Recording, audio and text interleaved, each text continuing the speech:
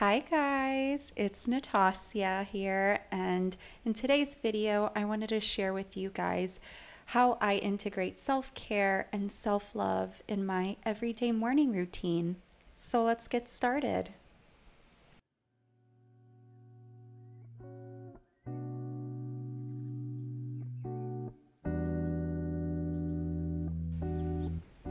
So, you guys may be thinking, why is this a step in your morning routine that you want to share? Making the bed seems pretty simple, but I do consider it part of my morning routine and a part of my self care routine because it really helps me start my day off on the right foot many years ago after I had read the book The Power of Habit by Charles Duhigg. He had mentioned that making your bed is something that he calls a keystone habit, something that kickstarts a pattern of other good behavior, and that when you make your bed every morning, it's correlated with better productivity and greater well being and all of that good stuff. So after I read that, I'm like, you know what? I'm gonna make sure that that's the first thing I do every morning. And it does, it gets me prepared for the day. And it's honestly one thing to check off your to do list. Like, there you go, I'm up and I already made my bed, and I'm off to a great start already. That's already a win.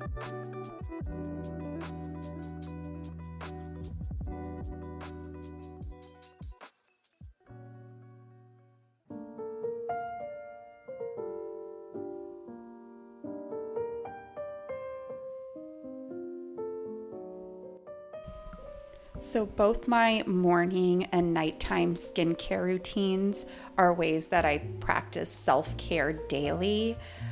I just feel calm and relaxed whenever I do my skincare routine. I don't know if you guys feel the same way about yours.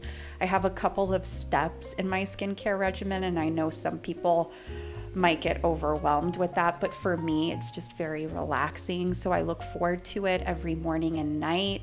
And it's just another step that gets me ready to go. It helps me wake up and get ready to start my day. I always do this right after brushing my teeth. And I would show you the products, but this isn't a skincare channel, so I don't want to bore you with that. But if you are interested in knowing, let me know.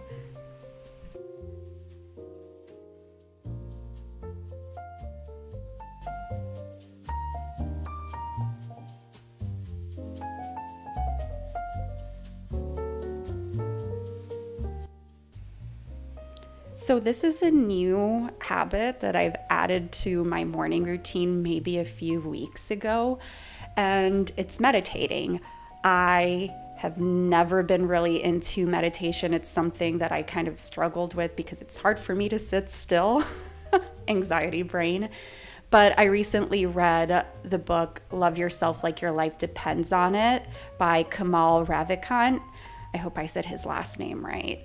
Apologies if I didn't but he had mentioned how meditating is part of his self love practice and he does it every day. And he had suggested to listen to some soothing music, a short song, and then just really pay attention to it. And every time you breathe in, you think, I love myself in your mind, and then you breathe out and breathe out whatever comes with it and you keep repeating that until the song ends. And if your mind wanders, just focus back on the music. So I've been doing that for a couple of weeks now, and I've really been loving it. It's helped me feel so calm in the morning, and I just feel so happy after I do it. I mean, you're essentially just repeating, I love myself to yourself for three to five minutes. And so it just makes me feel loved. And I'm going to keep it as part of my morning routine. And I'm so glad that this type of meditation is working for me. If you're curious, the song that I'm listening to every day is from the Spirited Away soundtrack, which is one of my favorite soundtracks ever. So I'm happy that now I can even listen to this song every day since I love it so much.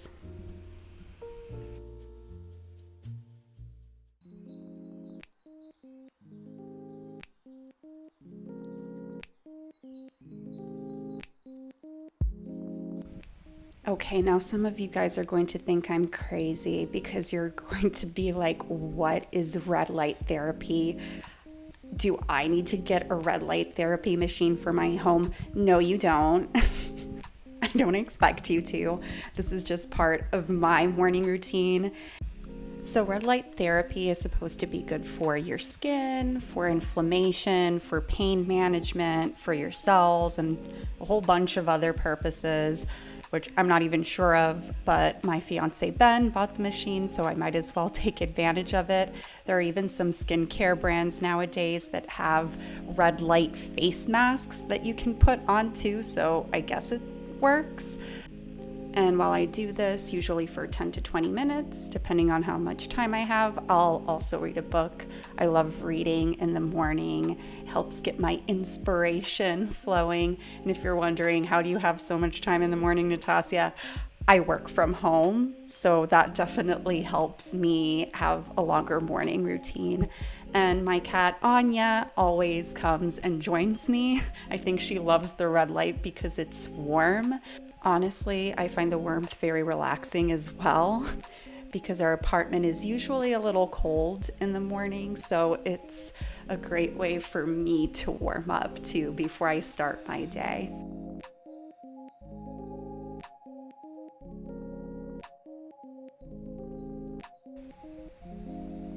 Outfit change. I changed into some workout clothes today because Today, I am going to do a quick morning workout.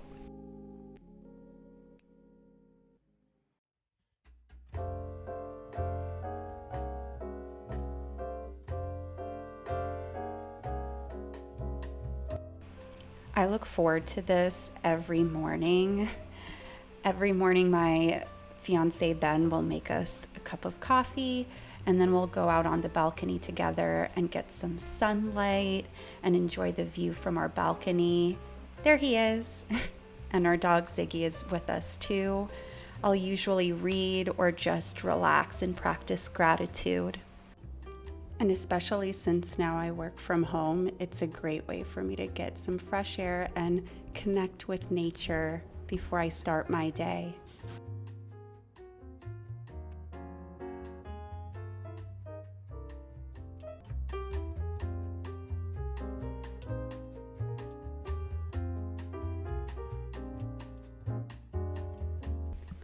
So I don't work out every morning, but three to four times a week, I will do a morning workout as the last step of my morning routine.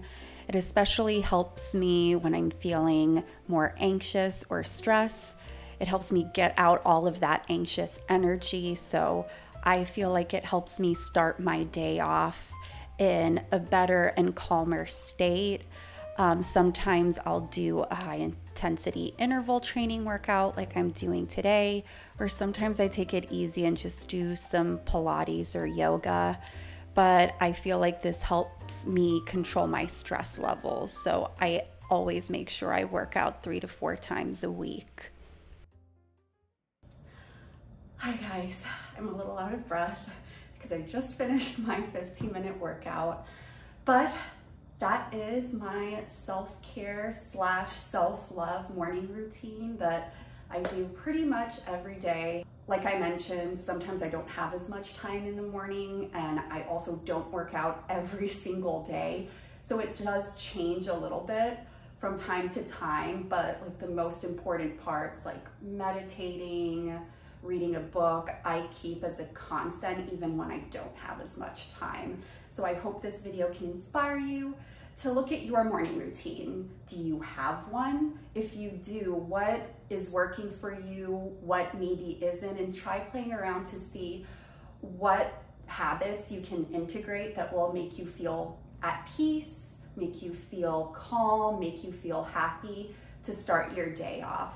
I know for me, as somebody who didn't have a morning routine for most of her life, I see such a difference in my mood and my stress levels now because I feel like I start off my day calmer now and I don't get as stressed out and things don't really get to me because I make time for these things that I know bring me joy and bring me peace. So not everything that works for me will necessarily work for you, which is why I encourage you to just try different things. And even if you only have like 20 minutes in the morning, try out one or two things that don't take that much time and try that out for two to three weeks and see how you feel after. See if you feel calmer when you start your day, like whether it's just having a cup of coffee and reading for 20 minutes or meditating plus doing like a quick yoga workout or stretch, whatever it may be, try something out and just see how you feel. Oh, that was really loud. so thank you guys so much for watching. If you're new to this channel, I post videos about self-love and fashion every week, so you can check those videos out too on my channel. And if you enjoyed this video, I would really appreciate it if you subscribed. Thank you for the support. and with that, I will see you in the next video. Bye. Love you. I need to go shower.